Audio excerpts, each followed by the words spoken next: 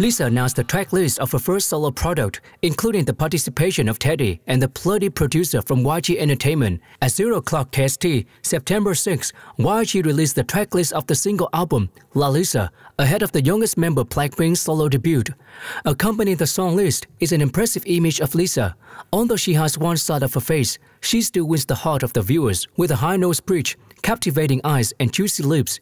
The extra mole at the corner of her eye enhances the charm of the female idol. Because Lisa released a single album, this track list only includes two songs called Lalisa and Money, along with the instrumental background music. If the title track is produced by Teddy, Bekuh BOOM, 24, the song is produced by the Bekuh BOOM, Vince, 24 and R.Tee. Despite the fact that the album's track list has only just been revealed, fans have long ago figured out the names of the two songs on the female idol's first album through the ones printed on the CD. As a result, they are no longer surprised.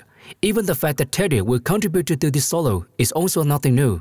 Some people, on the other hand, are upset that Lisa was not able to participate in the composition process. However, the producers of these music products are all familiar names to YG fans. They are the K-pop world's most famous hitmakers. As a result, both Lalisa and Money may assist the youngest Blackpink in making a spectacular debut on September 10th.